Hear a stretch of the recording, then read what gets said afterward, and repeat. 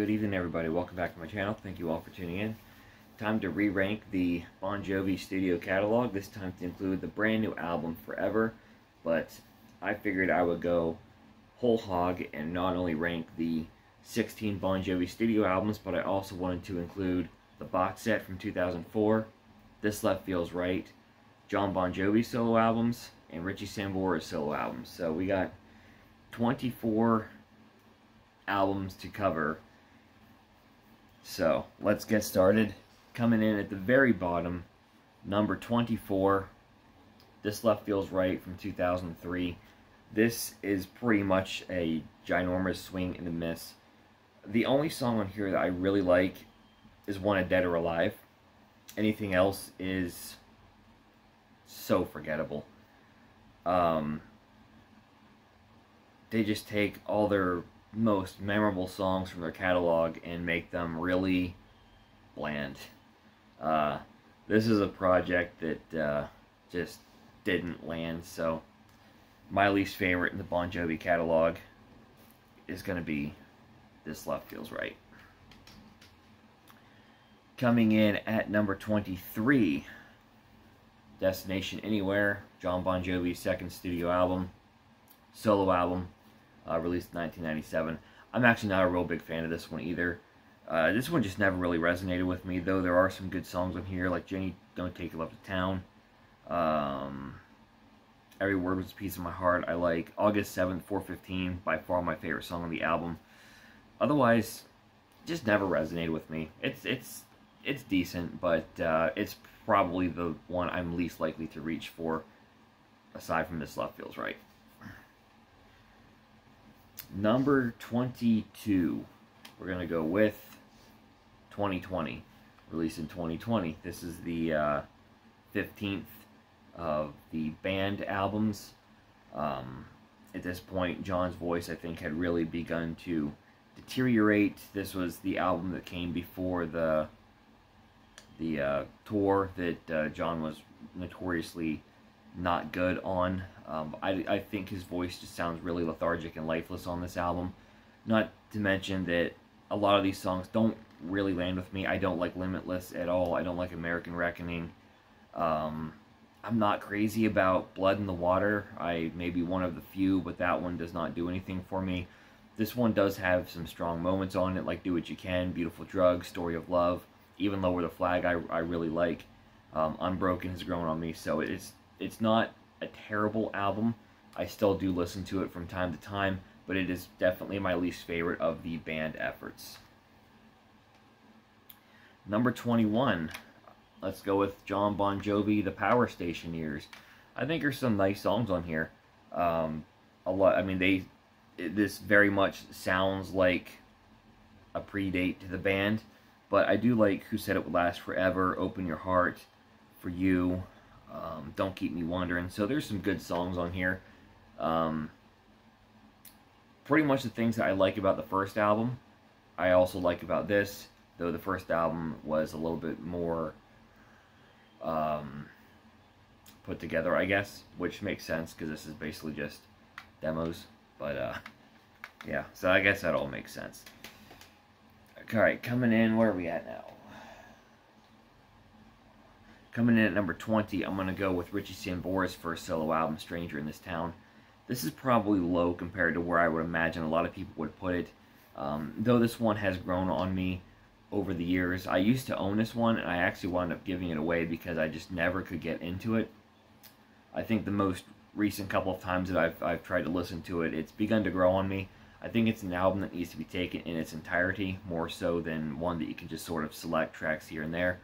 I do think the album kind of gets better toward the end. I think the second half is stronger than the first half, though my favorite song on the album is Ballad of Youth. Uh, it's a very...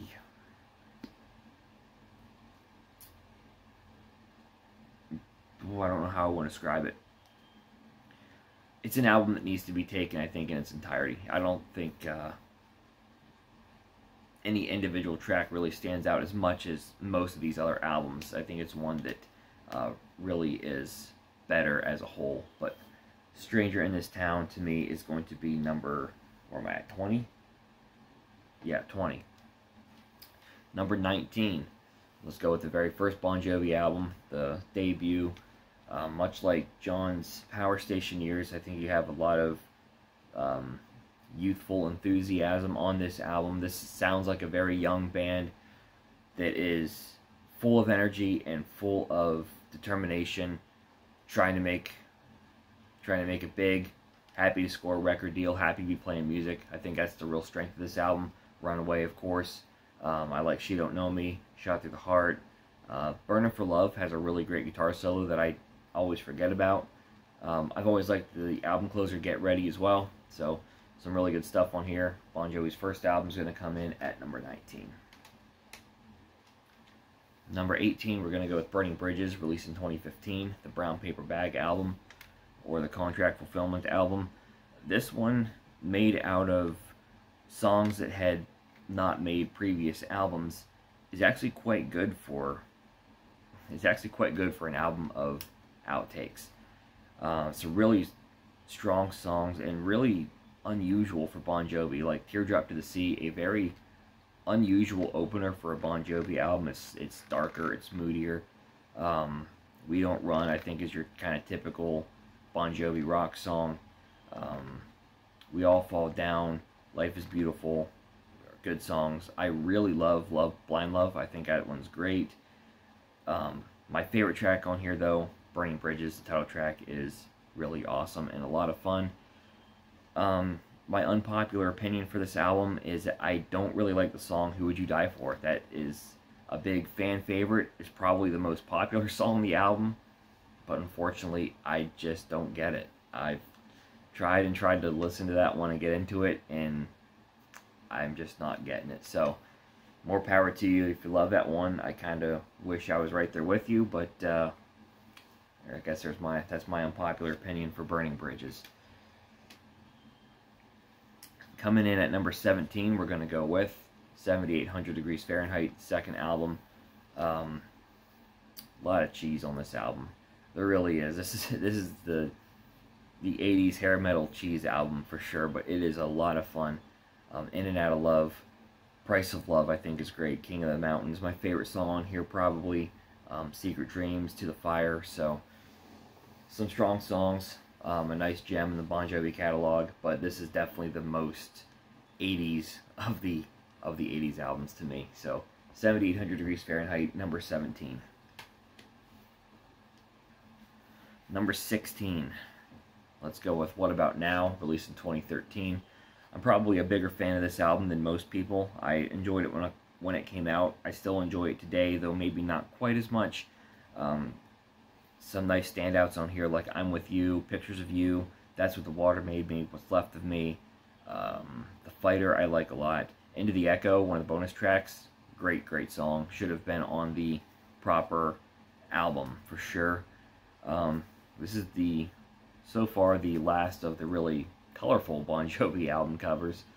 But um, an album that, though Richie Sambora was a part of the band for, I think it's sorely missing his touch. Um, yeah, that's, about all I got to say for this one. I, I do like it more than most, but uh, it is going to come in fairly low, number 16. Number 15, I'm going to go with Jon Bon Jovi's Blaze of Glory, uh, Young Guns 2 soundtrack. Really, really strong material on here, like Billy Get Your Guns, Miracle, Blaze of Glory, Blood Money, uh, Bang a Drum, one of my favorite uh, deep cuts um, in the whole catalog, whether it's solo or band. I think Bang a Drum is a great song. A couple songs on here that never quite stuck out to me, like Never Say Die, You Really Got Me. Now, um, Dying Ain't Much of a Living. They're, they're good songs. They, they're just uh, songs that don't really uh, stand out to me. I don't usually find myself going to them unless I'm listening to the album as a whole. So, Bon Jovi's Young Guns soundtrack is number. I keep losing track here. 15? 15 sounds right. So number 14, we're going to go with Richie Sambora's most recent solo album, that being Aftermath of the Lowdown, released in 2012.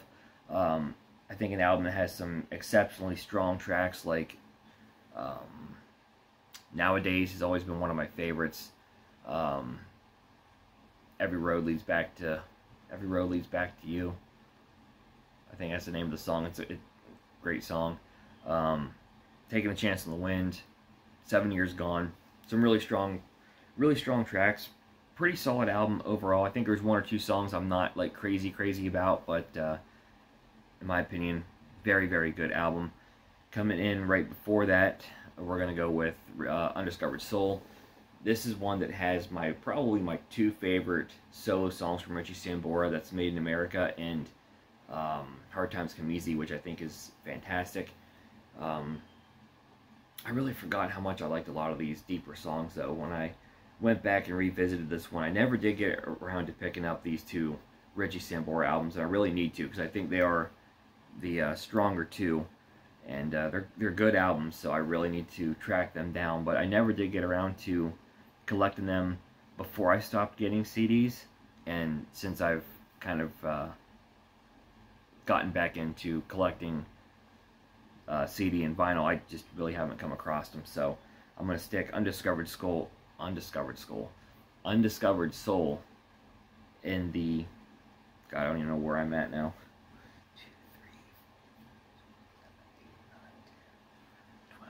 Undiscovered Soul was 13. Number 12. And from here on up, this pretty much is my upper echelon of Bon Jovi albums, I would say um, Undiscovered Soul, Aftermath of the Lowdown, Young Guns, What About Now, 7800 Degrees, Burning Bridges, and Bon Jovi is probably like my mid tier, and then those those bottom four are kind of like my bottom tier. So we're into my top tier already. Number 12, I'm going to go with 2009's The Circle. I love the sound of this album. It's a very big, anthemic sounding album. Um, some really good songs on here like We Weren't Born to Follow, When We Were Beautiful, Bullet, Superman Tonight, Thorn in My Side, Love's the Only Rule, Fast Cars. So some really good stuff. I do revisit this one a lot. This one honestly does seem kind of low for me at number 12, but when I was just comparing them to all these other uh, Bon Jovi albums, I think this is the one that just sunk to the bottom for now. I mean, I do this album or album ranking again in a couple months. Could be totally, totally different. I mean, this list is already different than when I did it last year. So, number 12, The Circle. And my cat wants to say hi. Alright, number 11. Let's go with the box set. 2004's box set. Four discs of mostly unreleased or hard to find material. And as I've always said, I think you've got two great albums and a third good one on here. Um, some highlights from me Why Aren't You Dead? Radio Saved My Life Tonight, Taking It Back, um, Open All Night, I Get a Rush, um, the original Last Man Standing, Starting All Over Again, though I think the uh, Keep the Faith era version is better. Um, Rich Man Living in a Poor Man's House is great. You Sleep While I Dream. Good Guys Don't Always Wear White, one of the band's most rocking tracks in their whole catalog. Um, let's see, Edge of a Broken Heart, uh, Only My Dreams featuring Tico Torres on vocals, I really love. Um, always liked Real Life quite a bit. Memphis Lives in Me with Dave Bryan on vocals.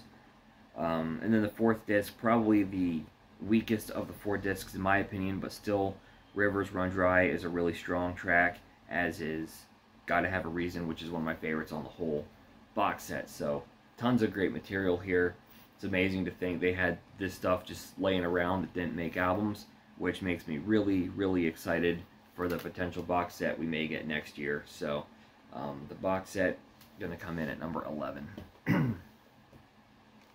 number 10, let's go with This House Is Not For Sale, released in 2016.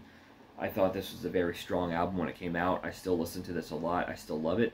I like the title track, uh, Living with a Ghost, Born Again Tomorrow, Roller Coaster, um, Devils in the Temple, Reunion is great, Come On Up to Our House, so a lot of strong songs in here. A couple songs I'm not that into, and uh, that is why this one is going to come in at number 10, and the new one, Forever, is going to come in at number 9.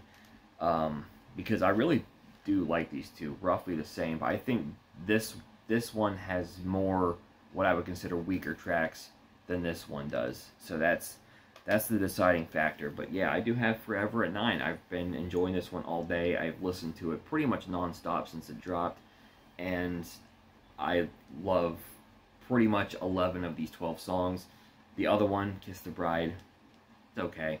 But uh, some stuff, really strong stuff on here, in my opinion. We made it look easy, Living Proof, Waves, Seeds, People's House, Walls of Jericho, Living in Paradise, Hollow Man. Um, strong album, in my opinion. I really like this one. Number 9. Number 8, let's go with New Jersey, released in 1988. Um, got Lay Your Hands on Me, Bad Medicine, uh, Born to Be My Baby, which uh, here's another unpopular opinion within the Bon Jovi catalog. Um, it's pretty well known that Born to Be My Baby and We Weren't Born to Follow have like the exact same chorus, just with different lyrics. But uh, my unpopular opinion is I prefer We Weren't Born to Follow. Sorry. Still like Born to Be My Baby though. Uh, Homebound Train is great. I love that one. Stick to Your Guns. Um, Love for Sale is kind of a fun little ditty to close this one out. So I got New Jersey coming in number 8 spot. Number 7, let's go with 2005's Have a Nice Day.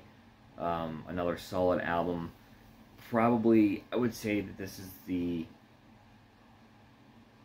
Um, this is probably considered the best of the post 2000s era. Um, at least that's what it seems to me. Uh, can't go wrong. Have a nice day. I want to be loved is great. Uh, Who said you can't go home? The band version, not the Sugarland version. Last Man Standing. I am. Novocaine. Story of My Life. So you really can't go wrong with Have a Nice Day. It's going to come in at number seven for me. Number six, I'm going to go with the ever underrated Bounce. Um, this one's really a tale of two different albums. You got the heavy album, which is like undivided, parts of the distance, hook me up, bounce, and then you've got the ballady album, which is Joey, all about loving you, right side or wrong, uh, had me from hello. So it, it's there's kind of a strange um, play on this one where parts of it, um, parts of it is like one of the heaviest albums of the band's career. The other part of it is uh, filled with ballads. But it works. I like this one a lot. I love Undivided. I love Every Day. I love The Distance. I love Joey. I love Misunderstood. Hook Me Up. I've grown to like Right Side of Wrong quite a bit. Um, Bounce. So, some really underrated material on this one. In my opinion, Bounce for me comes in at number 6. Number 5, we're going to go with Slippery When Wet, the band's big breakthrough album. Um, of course, you've got classics like You Give Love a Bad Name, Living on a Prayer, and Wanted Dead or Alive. Um, I think this album has some really great deeper cuts like Let It Rock, the album opener, which I think is fantastic. Raise Your Hands is a great song. Without Love should have been a hit. Um, had they chose to release that as a single, I think it could have been pretty big. Uh, Wild in the Streets is a fun way to close it. So Slippery When Wet, for me, is going to come in at number 5. Number 4, Lost Highway. This might be my upset pick of the entire uh, of the entire ranking here, but I've always liked Lost Highway. I liked it when it came out, and it's done nothing but grow on me over the years. Um, I think I ranked it second last time, so I don't quite have it that high, but I still love this one. Lost Highway, Summertime, Whole Lot of Leaving, we got it going on any other day. Um, I love the way this one closes too with the last night, one step closer, and I love this town. I think that's a really strong finish to the album. But uh, this is quote unquote the country album, but really it's just a Bon Jovi album with a bit of a country tinge to it. I think this is a really fun summertime album. Lost Highway for me comes in at number four. Number three, let's go with the underrated these days. Underrated, maybe not by the fan base, but by the, I guess, the outside world probably doesn't know this album the way they know Slippery When Wet or New Jersey, but this one is fantastic. This is the the dark album of Bon Jovi's catalog. Um, some really moodier tracks, more introspective tracks, uh, songs like Hey God, one of the angriest tracks in the band's catalog, Something for the Pain, I love. Um, these days, I love. Uh, my guitar is bleeding in my arms. It's hard letting you go. Hearts breaking even. Some really, really strong material on here, and there's just a plethora of um, outtakes from this era of the band too that are just a lot of the box set really kind of seems to come from this era. Plus, you've got some great stuff um, that wasn't on the box set that is from the These Days era as well. So, I was just, and I, I might save this idea for another video, but I was just kind of looking at and, and compiling all this stuff. Like, These Days could have almost been a double album. so, I might I might do a video where I, I theoretically turn These Days into a double album. Number two, I'm to go with Keep the Faith, released in 1992. Um, in my opinion, just a little bit stronger than these days. I think this one is a nice bridge album between the 80s and the ni- and the uh, the these days sound. Um, this one does seem to have a little bit of a foot in the past with songs like "I'll Sleep When I'm Dead," "Blame It on Love," "Rock and Roll," but uh, this album is largely moving towards the these days um, sound with songs like "I Believe," "Keep the Faith," um, "In These Arms," "Dry County," "Bed of Roses." Um, a little bit of Souls and uh, a good closer. Fear, really good song as well. And of course, the title track "Keep the Faith" is my favorite Bon Jovi song. So, um, really strong album. I think the the weakest song, what at least what I used to think was the weakest song, "If I Was Your Mother," has grown on me a little bit these last couple years. Um, "Woman in Love," yeah, that one's pretty much a filler, but uh, strong album. Really love this one, so it's going to come in for me at number two. Keep the Faith. That leaves number one to be the album that introduced me to Bon Jovi, which was Crush. Um, I was introduced to uh, Bon Jovi um, through my dad playing me this album in his truck. It's My Life. I still love that song today. Say It Isn't So. Two Story Town. Next 100 Years, Just Older. Mystery Train. Captain Crash.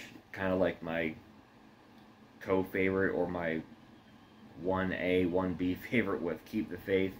Um, I got the girl, One Wild Night, so still got to go with this one. I think the tiebreaker is just the nostalgia, the fact that this was the one that introduced me to the band, because honestly, any of these top